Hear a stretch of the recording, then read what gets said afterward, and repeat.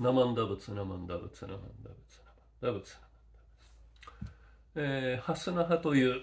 えー、お坊さんが答える人生相談サイト。サイトですからインターネット上でテキストでお悩みを聞いてでテキストで返していく回答していくということを基本にしております。ハスナハっていうので、えー、1000ぐらいのお答えをさせていただいております。でその中で以前のやつを振り返ってこれ大事やなっていうのを拾い上げてでまあ言うたら動画で焼き直してるわけです。でその焼き直していく中で、焼き直しかいうようなことではあるんだけれどもやっぱり、えー、新たな発見があったりで、えー、何年か前のものなんですけれども今の状況と引き比べてああこういうことやったなでこれはこれからも大事なことやなっていうようなことをまあ、エッセンスみたいなものを抽出してお話をしていこうと思っています。ね、で今日のおお尋ねねこれハスの葉何年何日いうぐらいのことまで書いてあったらいいなと思うんです。ちょっとそれはないんです。がそこはちょっと辛いとこなんですけれども。しかしこれ今日的な問題でもあります、えそのタイトルは将来への強い不安ということで大変真面目な大学生さん就職を控えたぐらいのつまり卒業を控えたぐらいの、えー、真面目な学男性の大学生さんのお尋ねです。読んでい、きます。将来への強い不安というそういうタイトルがついているお尋ねです。読んでいきます。もうすぐ社会人になるものです。以前にも似たような相談をさせていただいたのですが私の力不足でいただいた回答の内容を理解できず恐縮ですがもう一度同じ質問をさせていただきます。言ってねその時には私が答えてるわけじゃないんです。だから前回の質問というのはよくわからないんですけれども、えー、このここの、えー、お尋ねの内容というのは自分の将来に光が見えないね自分の将来に光が見えないということです。理由として昨今の終身雇用の崩壊や年金制度の破綻といった暗いニュースが多く自分が年を取るにつれて日本が衰退及び崩壊する未来しか見えません。それに伴いお金の不安や生涯独身の覚悟など一生が結婚できないで独身でいなきゃいけないなどの覚悟など将来の不安を抱え出すときりがありません。なのでこの先生きることがとても辛くなってしまうような気がして時々絶命を考えることがあります。こういった漠然とした不安を解消するにはどうすればよいでしょうか？具体的な行動や心の在り方などこの不安を解決または軽減することができる方法をいただけましたらと思います。よろしくお願いします。ということです。ね。めちゃくちゃ今日的ですね。何年か前の、えー、回答、えー、問答になりますけれども。だからもちろんコロナ前なんて当然ぐらいのところです。で、えー、そこでここのまあ言ったら本当に失われた30年の中で、えー、共通するお悩みやと思いますけどもこれに対する私の答えはこうです。日本が沈んでもあなたが沈まなければというね大体これで予想できると思いますね。私の答えの内容短いですけれども読んでいきます。日本の人口が減っても他の国で売れる商品が作れたら何も怖いことはありません。また日本にいなきゃいけないという決まりもありません。東南アジアに移住して個人で稼いでいる人もたくさんいるじゃありませんか。若いのですからいろいろな技術を身につけてどこに行っても暮らせるようになったらなさったらいかがでしょう言ってね。まあこうとしか言いようがない問題ですね。まず私の答えで言いましたら日本の人口が減っても言ってねダダダダダッと減っていますよね。めちゃくちゃ減ってますよね。でえー、日本の GDP、まあ、世界で3位で、まあ、インドにすぐ抜かれるんだろうとしてはまだ3位ですね。でその GDP の中で、えー、内訳を見ますと内需が半分は確実に超えて6割ぐらい内需だったっけまあこれはインターネット見りゃすぐ分かるんでとりあえず6割前後は内需だと思いますんででそうすると内需でもって GDP の半分を支えてるっていうことはですね人口バカスが減っていくわけですからあの GDP もどんどんどんどん下がっていくということで で、えー、人間が消費するものを、えー、それが GDP の6割ぐらいかな。もうちょっといったかな、えー、だから その人間がバカスが減っていったら当然日本の経済はシュリンクし縮小していくということは誰にでもはっきり分かることで日本の経済状態というのはその意味においては暗いよねと。じゃあ、えー、どこに活路があるんでしょうねって言った時に他の国で売れる商品が作れたら何も怖いことはありませんよねということになるわけです。うんだからですね、えー、僕あんまそんな詳しくはないんだけど、まあ、新聞とかインターネットとかそんなもん見てること中で今から企業価値がどんな会社が伸びていくんでしょうねと言って、えー、言った時にまあ、日本人少なくなっても介護産業とかそういったもんはまあこれから年寄りばっかりになるやからなんとかなるでしょうというのとなんとかなるぐらいじゃなくてこれからもどんどん成長が期待できるよねっていうのはこれは海外売りは売上比率が高い企業はこれからも伸びていくよねっていうことがこれ予想されると。でまあまあ、まあ、例えばあのくるくる寿司とかね。ああいったところなんかもちろん。今から寿司今も今も十分寿司ブームやし。でこれから東南アジアとかアフリカとかああいったところの人がどんどん金持ちになっていったら、えー、くるくる寿司なんかは儲かりますよねっていうことになるでしょうしその他さまざままあいくつか、えー、海外売上が比率が高くてそしてこれからも海外でどんどん商売発展していくよねっていうのは日本企業っていうのは探せばいくらでもあるかと思いますんでそれを考えていくと他の国で売れ,、る商品が作れたら何も怖いことはありませんよねということになります。で、えーえー、また日本にいなきゃいけないという決まりもありません。で経済成長がはっきりと著しく見える東南アジアに移住して個人で稼いでいる人もたくさんいるじゃありませんか言うてねでここからは東南アジアの話じゃないしいっぺんこれ動画でも喋ってる話なんですけども、え、私の子供が、えー、小学校の時に2009年の話ですけど私カナダに行ってでカナダに、えー、日系人どんなことしてはるんかなとか日系人がお寺をどんなふうに支えているんかな、まあ、日系人だけが支えてるわけでもないんですけども、えー、カナダのお寺ってどんなんかな思って、え、見に行きたいな思って。で、え、私のところのこの村から 両教授のご門徒が、えー、私のところ寺のご門徒がですね 大正時代にカナダに行かはってえー、その人のお孫さんが、3世の方が女医さんで女のお医者さんで でその人に連絡取ったら「ぜひ来い!」って言って「お前何何が何でも来い!」言うてねあの新新型インフルエンザが、えー、大変こう流行して騒がれていてあの時舛添さんが、えーえー、なんていうかな、えー、自分の株を上げるみたいな形で随分頑張ってはったなと思うんですけれども、えー、何が何でも来いみたいなこと言ってね、えー、こう行きました。なんかやっぱり、うん、強引なところもあるなと思いましたけど行きましたね。で、まあ行ってみたら強引な人というよりかすごい優しくていい人だったんですけども、まあまあ、せやけど、まあ、お医者さんならはるような人ってやっぱりいろんな面持ってはんねやな思って、で、えーそね、家に泊めてもらって喋ってる間にですね、お前んところ上の娘さん育てたい言うて、えー、その人が言わはったんですよ。お前のところで、まあ、要は私とか1個がね、えー、1961年生まれの女医さんなんですけど、えー、こう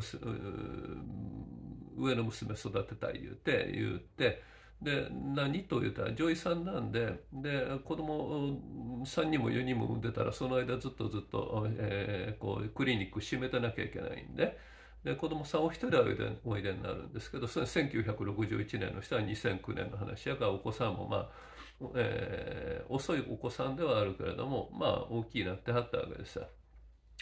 で、えー、もう一人育てないたいなと思ってもまあそんな年でもないし、えーねえー、そんなわけやからもう一人育てたいなと思ってる時に日本にポコッとこうね大登さんが行ったんで で、えー、うちの長女を育てたい言うて言ってくれたんです。でもちろん養女とかそういうことではなくて、えー、日本がね私の子供のままでということでもあるだろうし、えー、状況が許したらカナダ国籍でもいいかなあでもまあそれは後から考えたらもいいたらいいことやし僕はそれはとてもいい話やと思って、えー、日本に帰ってで、ね、家族と相談したんですけど小学校のその時の子供は素直さっぱり分かってませんから行け言うたら行ったと思うんですけどまあえー、おばあちゃんとうちの家内が大反対しまして、ね、この話はパーになってしまいました、僕はとても残念やと思っています。で、えー、2000年代真ん中の数年間滋賀大学にですね、えー、某国のビューロクラットがですね、高級官僚がですね、えー、留学に来とってその子と仲良くなっていろいろ話していたんですけどもまあその高級官僚氏はね若い高級官僚氏はもう日本パーでさ飽きませんわオワコンでさもう言うてはったらさで ああ、まあ、で自分も分かりません。1990年代からずっと瞑想し続けてるんでこれは日本飽きまへんわって言われる前からこれあかんな思っとってで、えー、こう留学しているあるねあの外国の高級官僚の目にもこんなんではもうスパーですわ言うて分かりません。で実際その失われた30年になってるわけやから 論より証拠ですわね。であのそういうことやから2009年の段階で、えー、娘カナダで育ててもらえるんやったらええなというふうに思わないわけはないですよね。で、まあ、カナダ行ってみて、まあ、アルバータ州だけなのかもしれないけど、まあ、少なくとも地下資源山ほど出るんでアルバータ州については生かしてもいいかなっていうふうに思いました他の州についてはなかなかこんな必ずしもいいとは思えなかったんやけどアルバータ州についてはそうやって掘ったらね地面を掘ったら何か出てきて金になるもんが出てくるわけやから大変結構ですよ。でそれでいいかなと思っていましたけどもやっぱり、えー、ちょっと今でもやっぱりちょっと残念かなと思ってます。で、えそして、まあ、諦めて、まあ、とりあえず今、まあ、うちの娘も得度してお坊さんになって、えー、まあ、寺継ぐ気で今のところはいると思いますどうなるか分かりませんけどもまあそんな形やし大学出て就職していますんでまあまあそこそこなんかなとは思うんですけどうんと思いますね。でうんと思うのはやっぱりいくつも理由があってさっきの少子高齢化だの年金がどうしたこうしたとかこう終身雇用がどうしたこうしたとかそういうことも確かに思ってるんですけども、えー、なぜかなんでそんなことになっていくんかな言うて言ったら、やっぱモグラのあのモグラ叩きゲームみたいな形で伸びる伸びそうなものを叩き潰しにかかるみたいなことはねやっぱり日本社会のがんになってるなということがいくつもの例の中から見えますね。でそれをえー、じゃあそうです海外行ったらほんもないん？言うて言うて言ったらやっぱたくさんあると思うんですけど例えば大統領選挙の時見とったらってさ対立候補の潰し合いみたいな悪口の言い合いみたいになってますんで。だからあのアメリカに足の引っ張り合いがないとはとても思えないんですけど。まあまあだけどそうこうまあそういうことあるかもしれんけど例えばこのあの他のあの国があね、えー、どんどんどんどん発展していってますからね。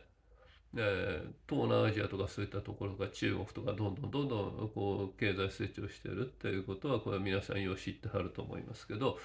うん、他のいわ以前から先進国と言われているようなところでも GDP 長い目で見たら随分上がってるわけです。ねえー、先進国同士で見た時に、えー、日本と同じ日本よりの方が勝っとったぐらいの先進国でもこっちの方はずんずんずん伸びていって日本はずっとこれやから。であの発展途上国と言われていたところボンと伸びているわけですから失わったら30年ってとんでもないことになってるわけですけど。で、えー、今ほど言いましたようなことでどこでも足の引っ張りはあるんかもしれんけど日本ももぐら叩きゲームみたいになってる。でそれで伸びてないよねっていうようなことやっぱりこの会社伸びたらいいなとかこの人伸びたらいいな思ってる人がなんかどんどんどんどんどんなんかあの、えー、上げ足取られて潰されていくみたいなことをやっぱりあのこの30年ぐらいずいぶん見させてもらいましたね。で今やったら企業じゃなくて高市早苗さんかな。高市早苗さんも別に大手喋ったこともないし実際どんな人かっていうのはよくわかんないけどだけどまあまああの自民党の政治家の中ではまともな人かなと思うけどあれも結局なんか自民党の中で潰されるみたいな感じに今なってるように見えます。わからないですけど見えますんで。あなんなんて言うんでしょう。初の女性総理かなと思って、えー、言ったけども、うん、やっぱりそんな風にはなかなかやっぱななっていかないのかなと思いますね。うんどうなっていくんでしょうね。というのはまあ真相わからないんやけどやっぱあそこになんかあの自民党の中での星の潰し合いかモグラ叩きゲームみたいなことになってるのかなと思いますしそれから、えー、初の女性総理かなといったようなことをポロッと今言いましたけどもうちのおばあちゃんはですね小池百合子さんも高市早苗さんも嫌いなんです。えー、どうして嫌いなの？って言ってって言ったらああいう人が活躍してくれたら女の人がどんどん、えー、こうし、えー、外に出ていってでこうまあ言うたら一人前の活動をしていかなきゃいけないけどもさ私はそれが嫌だと。で家の中で隠れて、いてで、え、こうあ何もせんと静かに暮らしていきたいけどあんな連中がおるがために女性が社会に出ていかんなあかんのは気に入らん言って まあはっきり言わはるわけです であのー、でまあまあそう思ってるだけだったらいいんやけど うちのおばあちゃん何の力もないんで別にそれはそれで構わないですけど。でもまあそんな形で、えー、女性が足を引っ張る。でえー、そして、うん、で、えー、男性も足を引っ張る。でそんな形でやっぱ社会伸びていくわけはないんででこれからどんどん人間の数も日本の場合は減っていく。し先進国もやっぱり人が減っていくんで、えー、まあ、移民を受け入れてる国は減らないけれどももともと住んでた人たちなんかについて言うとやっぱりどんどんあの人が減っていくんででその上手に移民政策をしていってで新しく来てくれた人にどんどんチャンスを与えていかはるところはまた伸びていくと思いますけども日本なんかそうなっていかないわけやから。えー、人の数は減っていってそこでモグラ叩きゲームやったら大変なことになってしまって衰退するに決まってますよねっていうことですね。でそんなところで、えー、こう暮らしていくのですから 不安に思わないわけがないんで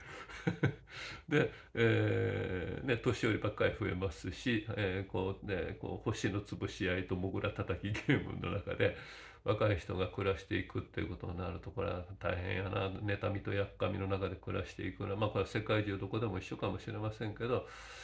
そやけどその中であの日本の中だけ見とったらブルーオーシャンみたいなもんが少なくなるのは間違いないからまた世界目を向けたらブルーオーシャンみたいなところがあってどんどん発展し伸ばしていくことができるかなと思いますんで若い人は、えー、あまりこう日本の中のことを考えて不安になるのではなくて、えー、日本から外に出ていってでそして、えー、外に活躍の場を求めていくことで活路を見出してほしいなと思います。で、えー、せやお前どうすんねんって言われたら、お前どうすんねんって言われたら、私も年いってるんで還暦も上がってるんですけど、でもやっぱり自分自身もやっぱりそうかなと思いますね。若い人はもちろんこれからえー、ずっとずっとまた活躍していかはるわけだけどもその時間があるけどこっちはそんなに時間がないわけですけどもでも時間あろうがなかろうがねやっぱり狭いところであの星の叩き合いが潰し合いみたいなこと人とのしゃあないですよ。何回も言ってますけどあの寺の社会があってやっぱりあの私みたいに在家出身の人間もごろたきみたいなバカすか叩かれるなと自分でも思っていたけども松本慶章さんに言わしても京都新聞の以前の、えー、宗教担当の論説委員だった吉沢健吉さ